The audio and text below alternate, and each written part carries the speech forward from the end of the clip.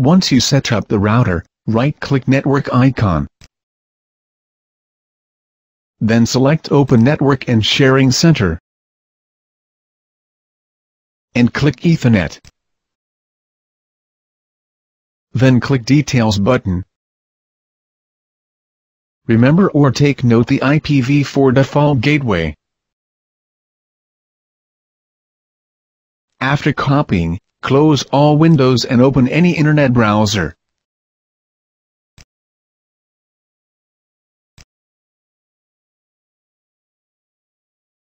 In the address bar, type the default gateway that you copied earlier. And the administrator box will pop up. In username and password, type admin.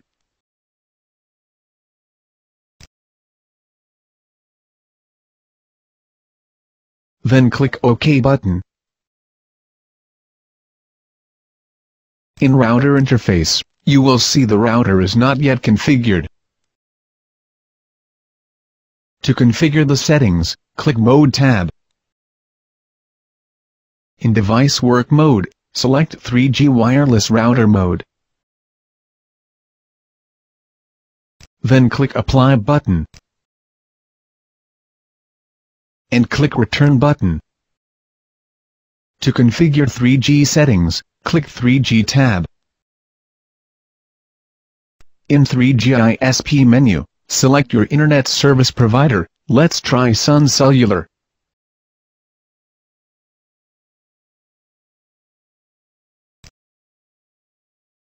In dialed number menu, type asterisk 9, 9, number sign. Then click Apply button. And click Return button.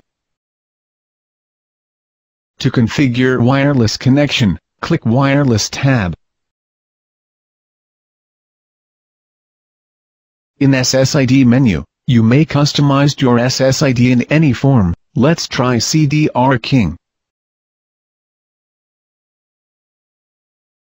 In Channel menu, select Auto. Then click Apply button. And click Return button.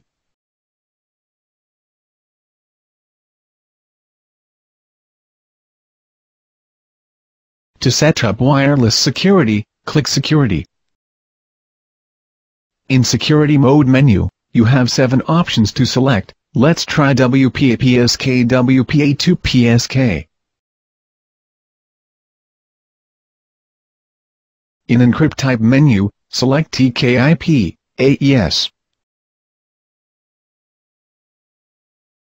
In WPA-PSK key menu, you may customize your password. Let's try Video Editor.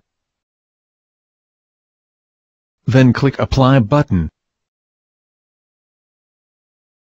And click Return button.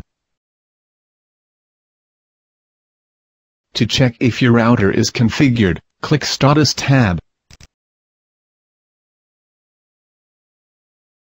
You will see your 3G settings is now configured.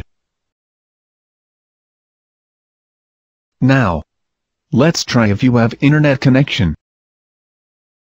Go to the address bar of your internet browser, and type any website.